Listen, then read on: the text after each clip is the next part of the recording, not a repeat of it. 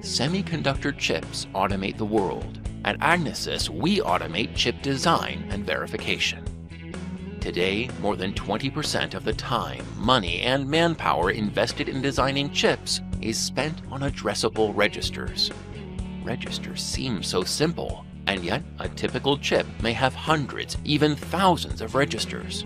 And a single register may be described in Microsoft Word, designed in Verilog, documented in HTML, verified in OVM, and programmed in C++. Make a single change in one format, and you'll have to translate the update back into all the others. What a mess! The answer is iDesign Spec, the easiest, most advanced register generator ever. You don't need to learn any new software or any new language. Just add the iDesignSpec plugin to Microsoft Word, or to Excel, OpenOffice, or FrameMaker if you prefer. Define your register settings. I'll make this register field read-only for software access, read-writable for hardware access, and give it a default value and a description. I can test these settings right here and fix any conflicts, address overlaps, or missing values before I go any further. Now I click one button and iDesignSpec automatically translates my registers into all the views I need.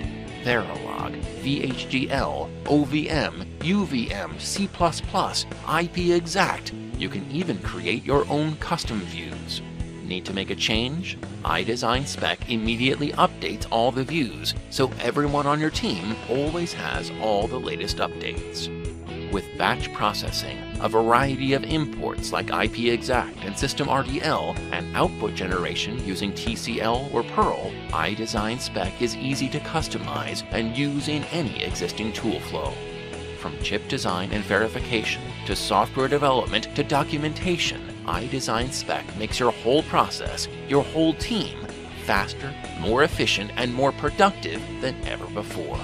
Find out more at www.agnisys.com.